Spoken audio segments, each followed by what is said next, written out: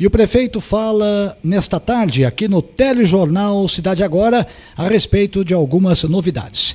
Entre elas, a entrega do veículo que foi doado pelo governo federal ao Conselho Tutelar de nossa cidade. Prefeito, já tem uma data precisa para que este veículo seja entregue?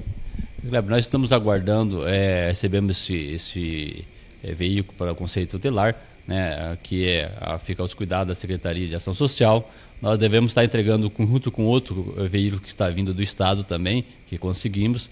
É, mas estamos fazendo uma reunião com os nossos motoristas, estamos fazendo um curso de capacitação agora daqui uns dias para estar entregando esse veículo, tanto os motoristas da educação, da saúde, como da ação social.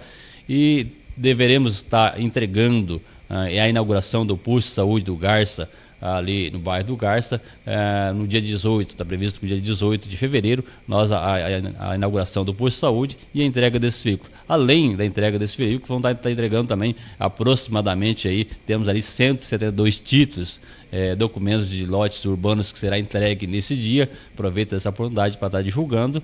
É, então nós vamos fazer um evento lá bastante importante, né? a inauguração do posto de saúde, a entrega do veículo, é, a entrega dos títulos e existe hoje aproximadamente 80 títulos prontos para ser entregue, né, documentação, é, são 170.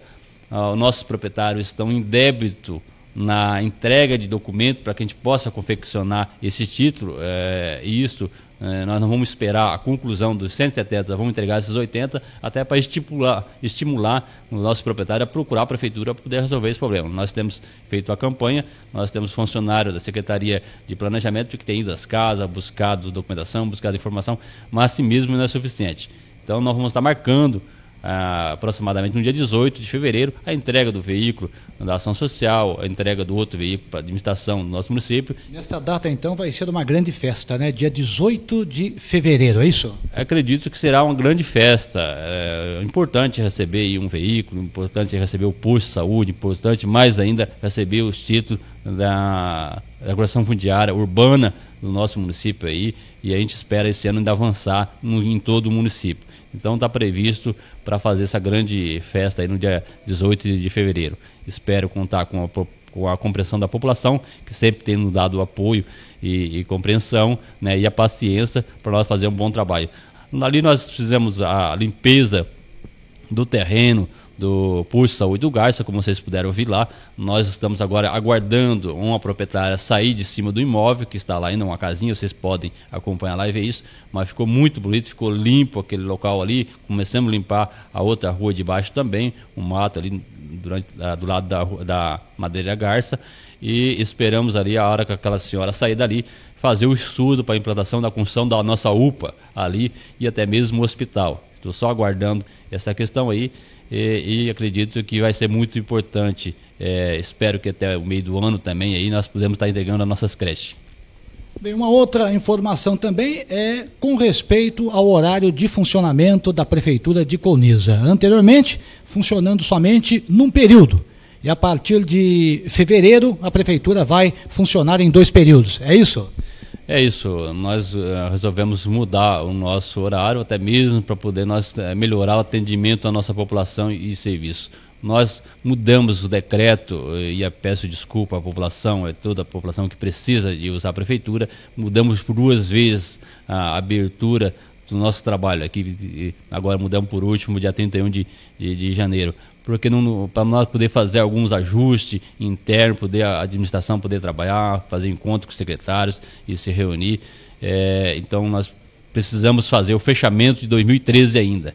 Então, peço aí a compreensão da população. Esperamos que esse novo horário vai agradar a população e a administração para nós poder fazer um, um melhor trabalho para a população que merece aí todo o trabalho e respeito da administração. Bem, prefeito, no dia 1 de janeiro agora, o senhor comemorou um ano de administração.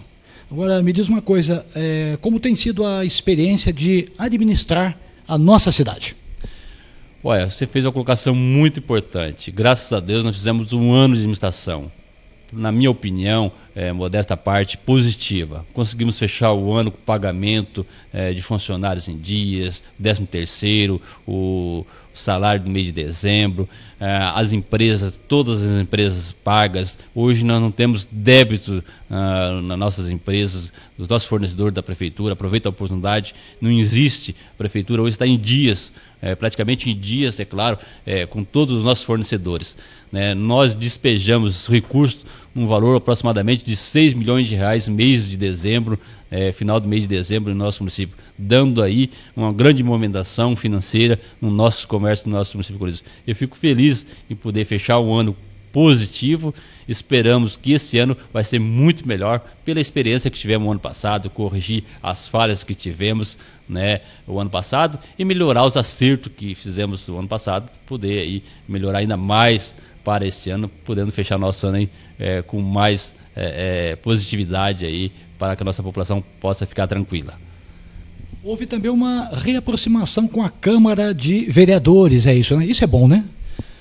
Olha, o que eu posso dizer? Eu, todos os projetos que eu tive é, mandar para a Câmara de Vereadores, praticamente foi é, votado 99%. Praticou um ou dois projetos que ficou sem votar, né? não vou aqui é, falar o motivo é, porque não foi votado, mas acredito que foi positivamente. Eu sempre falo que, como prefeito, como administrador, nós temos que separar as coisas acima de tudo, né? independente de partido A, partido B, se gosta ou se não gosta de fulano ou de ciclano, mas aqui nós estamos acima de tudo acima de tudo isso.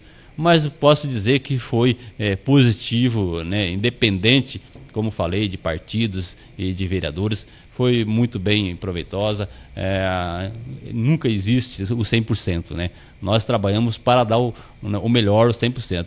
Mas nós, seres humanos, somos cheios de falhas. Né? E claro que nós não conseguimos agradar todos, né? não vamos conseguir fazer todos, mas eh, te garanto que nós estamos fazendo de tudo para o melhor da população, para o melhor do nosso cidadão de Colniza.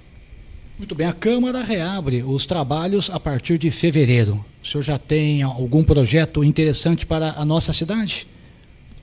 Eu... É, desculpa, o senhor tem algum projeto interessante que o senhor vá encaminhar para a Câmara? Nós temos, temos vários projetos que já estamos elaborando. Ontem eu estive é, presente com, com o presidente é, da Câmara de Vereadores, estive com alguns vereadores também aqui, é, reunidos e conversando. É, já tem alguns projetos em vista para mandar para a Câmara de Vereadores. Acredito que é, vamos estar mandando já agora, essa semana, ainda um é, projeto aqui, que era a questão de contratação é, de funcionário na área da saúde, que é de emergência.